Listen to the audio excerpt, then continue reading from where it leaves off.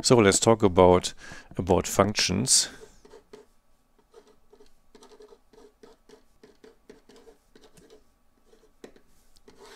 So again, the the the example what we uh, what we do is the example is um, average.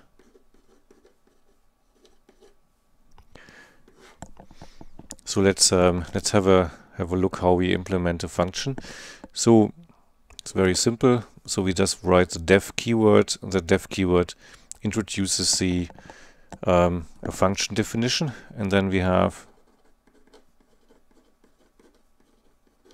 my average. That's my that's the name of the function, and then let's call this g, and then we have a colon here. So we see here. So that's just um, defines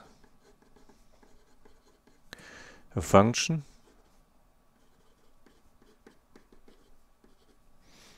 So that's the that's the name of my function?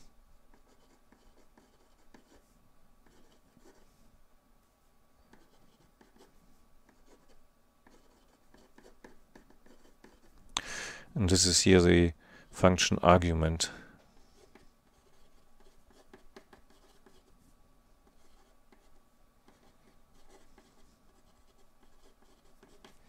And then again, we've got here the colon as the compulsory character to end the function definition. So then, as before, we use four four white four white spaces here for the function body. So then, then here, now let's call this properly the sum for our elements here. Now, now that's g. Now we um, implement again our for loop here. So again, indented with um, four spaces here for i in range.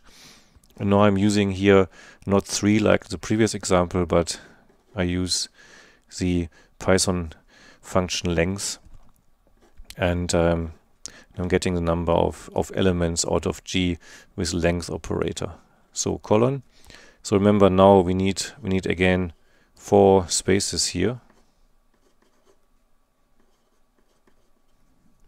And, um, and so now we just sum this here up. Sum equals to sum plus and g square bracket i to sum this here up. So that's that's all. And so now we need to need to return this result from return the result to the to the caller. So we write return and the so that's our sum. And um, in this case here we need to divide this by the number of elements. So again length of g. So that's our our function. So if you want to call the function from the main program, we we just call it call it with this with this name here, my average. Yeah. So in the so then in the in the in the main in the main program here, main program. Then we just write, for example, my average square, not square bracket, round brackets, my average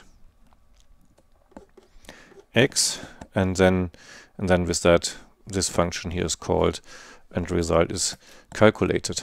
So let's um, let's do this in um, Spyder here.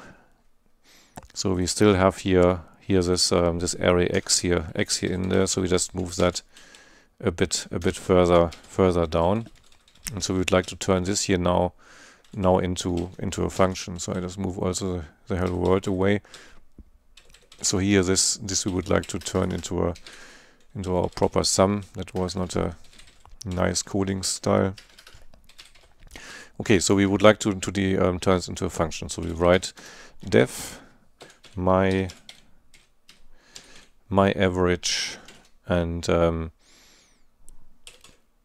and we call this here also also g. So now remember we need to need to create an indent here. So let's so let's call this here sum. And now we need to um, indent the for loop as well. And remember the the range here we wanted to fix into length of length of g. So the sum now so and so needs to be executed condition um, executed as part of the loop here. So it's now called called g here, and um, and then we just need to need to return the function result here. So return is sum, and then divided by by the the length of g.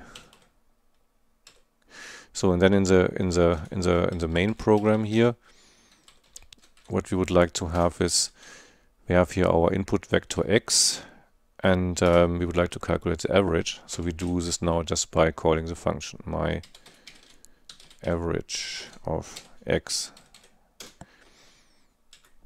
Let's call this here y. So if we so if we then print y, then we should then we should see see the result here. Okay, so let's let's see if this is um, calculated. Yeah, and so we're still getting the five out here, and so now now this this function here is called, and we are getting the uh, getting this result out here. Just to just to to convince you that this really is a function call. So let's just create a array array directly directly inside inside here and um,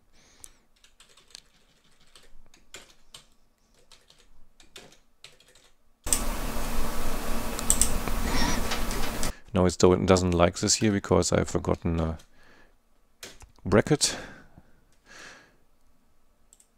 okay so that um, seemed to be working so the 5.0 comes here from from this print y and then um, this 5.66 comes here from the from this print command here.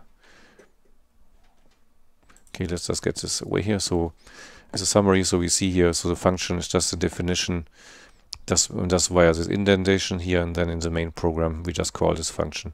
Simple as that. The beauty of um, Python is you can define functions in the program wherever you like, which obviously creates a very messy structure, but um, you can you can um, put the functions wherever you like in the program and um, sometimes um, it might be an advantage sometimes it's better to put this directly at the start of the program or even put this into another file